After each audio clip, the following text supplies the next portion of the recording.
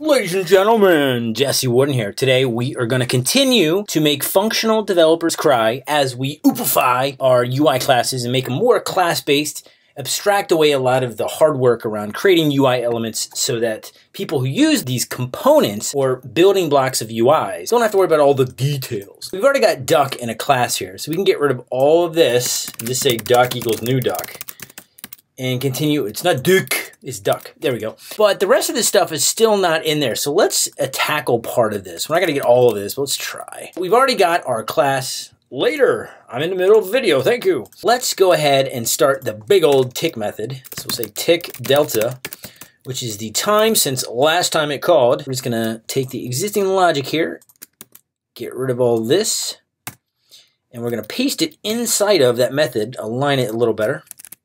All right, first thing, get rid of this. Abstract it away. Scope problems are gone. Now we say if we have a target, then we should do all this logic. However, this is a pure function. We need to change it to a class method. So we're going to say class method, and it takes a duck, a duck target, and a duck speed. However, two of these variables, we know who they are. The duck is this, so we can get rid of that, right? And the duck speed we can get rid of because we are the duck. We have access to our speed. So all we need is who are you trying to get the x and y velocity to move to? Let's go copy the contents of that function, which is here.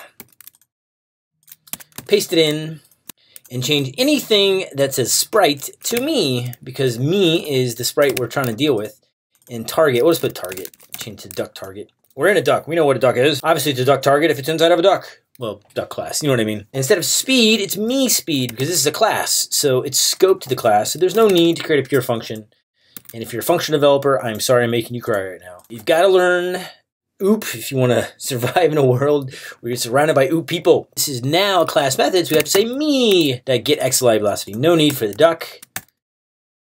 No need for the speed. And it's not duck target, it's me target. So we get the same return values, we just no longer have to worry about all those inputs for pure functions because most of those are scoped to us. It's not me target hit points and me target and me speed. All right, close enough is another class method we have to make. So let's go ahead and get the contents of this guy. We'll copy all the way to the method name here. And it's no longer an arrow function, it's a normal function. And class syntax and the double-edged sword is you have scope. And we don't need speed because, once again, we are a class that has access to our own speed. Fantissimo. So the only variables you pass in are the x and y to calculate the distance from you. We're close enough to where you're trying to go. Now, let's change this to me close enough. And instead of speed, we don't even need it. It's included in the class. And it's not me x and y me, X and Y. Get rid of that duck. Last one is eat bread. Where's eat bread? Eat bread. Find it. Find the eat bread. There it is. Copy the method inside of duck here. Go right above tick. By the way, the order doesn't matter. I'm just putting them above the dude who uses them. Instead of the duck, we don't need the duck. Obviously, we're just passing in bread. This is not equal. There is no arrow because it's not an arrow function. It's a class method. So the bread hit points, this is still kind of a pure function, mainly because there is no outside variables. And we're just passing in bread. Okay, so we have eat bread. Say me eat bread. Get rid of the duck. There's no need to pass it in. And me target. Voila! Now we can get rid of all this insanity. So we can get rid of this function, eat, get, uh, see, eat bread, don't need that anymore.